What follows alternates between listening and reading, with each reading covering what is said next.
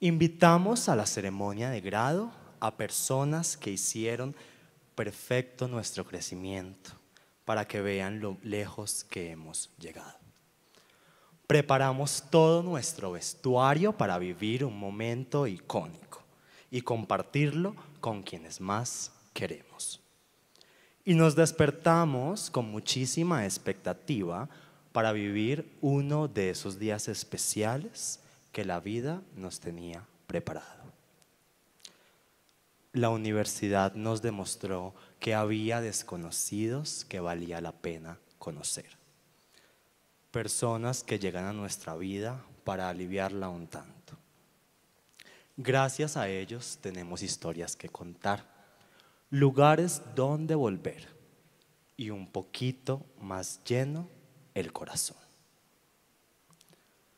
Mire a ese amigo que le acompañó o piénselo y sin decirle nada, agradezcale su amistad. Vivieron cosas increíbles y las vivieron juntos. Hoy es necesario asimilar que la vida está cambiando y que los grandes cambios implican grandes sacudidas. Pero recuerden que están los amigos y que los amigos no solo están juntos cuando están uno al lado del otro. Que uno puede alejarse de todo, menos de quienes lleva dentro. Hemos aprendido a ser una comunidad solidaria. Nos hemos tejido en fuertes redes de cuidado. Tuvimos personas que estuvieron presentes en nuestros fracasos e hicieron todo lo posible para levantarnos. Aprendimos a pedir ayuda y hemos sabido ofrecerla oportunamente. ¿Quién no recuerda a ese Monis que nos orientó durante la primera semana? A las señoras del Parque Espinosa que siempre nos surtieron de tinto, dulces o cigarrillos. A Doña Blanca, que tiene los mejores tamales del eje ambiental. A nuestros profes, que más que profes, se volvieron amigos y consejeros. Llegamos a la universidad pensando que lo sabíamos todo y salimos sabiendo que nos quedan infinidad de asuntos por conocer. Tuvimos el privilegio de aprender de personas brillantes y siempre dispuestas. Siendo sus monitores, tuvimos el privilegio de aprender de otros y de aprender un poco más de nosotros mismos. Gracias, profes, por hacer de nuestro pregrado una aventura transformadora. Como uniandines, yo creo que alguna vez nos dijeron que le tocáramos el bigote a la estatua que queda saliendo del W, supuestamente para que nos diera buena suerte. Pues en términos de suerte, yo creo que el Señor de esa estatua sí que nos ha dado la mejor de todas. Y es tener esta universidad. Mario Lacerna supo a los 25 años que este país necesitaba una universidad que no dependiera ni de la iglesia ni del Estado. Y empezó un legado que lleva ya 75 años. Qué curioso que haya sido él mismo quien dijo que lo que enseña la Universidad de los Andes no es tanto el contenido, sino la adaptación a las circunstancias. Y yo, al igual que él, creo también que es un principio que debemos cumplir si queremos seguir prestándole un servicio a este país. Tuvimos la fortuna de estudiar en una burbuja social en medio de un país donde el 40% de las personas viven en situación de pobreza.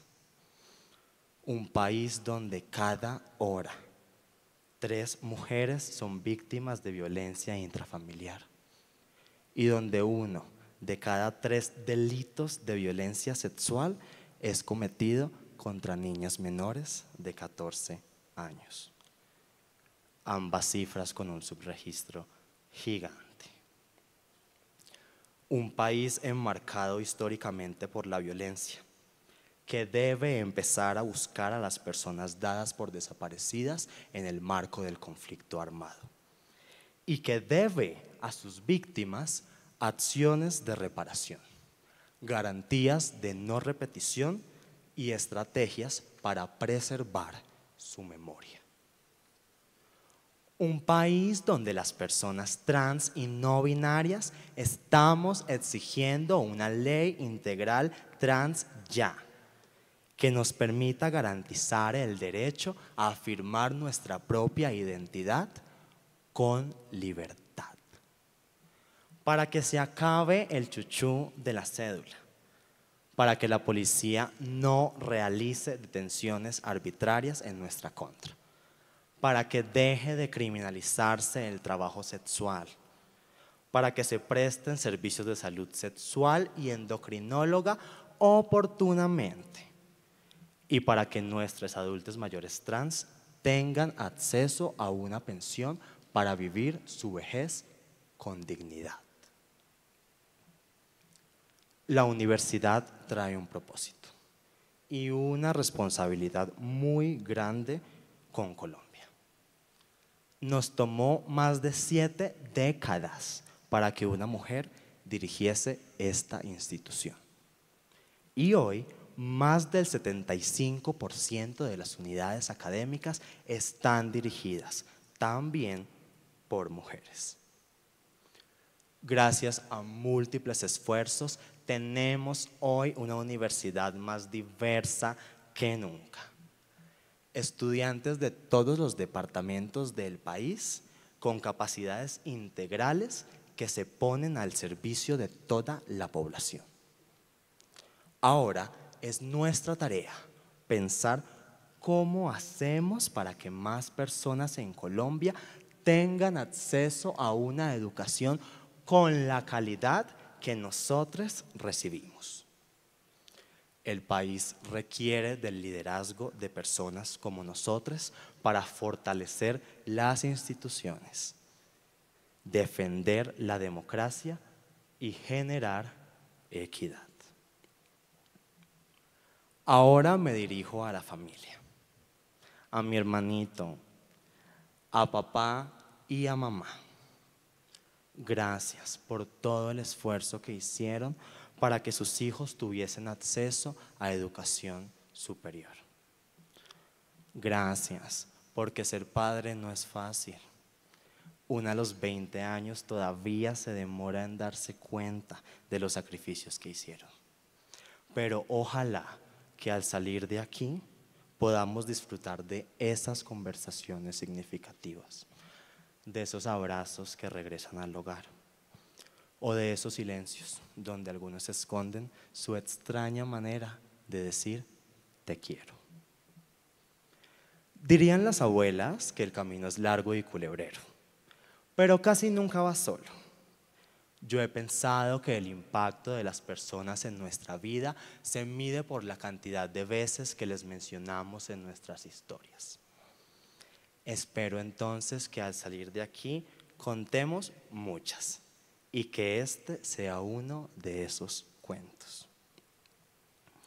Que nos contemos en eventos, en viajes o en esas conversaciones que llegan a las 5 de la madrugada descalzas y despeinadas a ninguna parte. Sé que el futuro es retador, pero confío que con ese diploma viene también audacia y esperanza.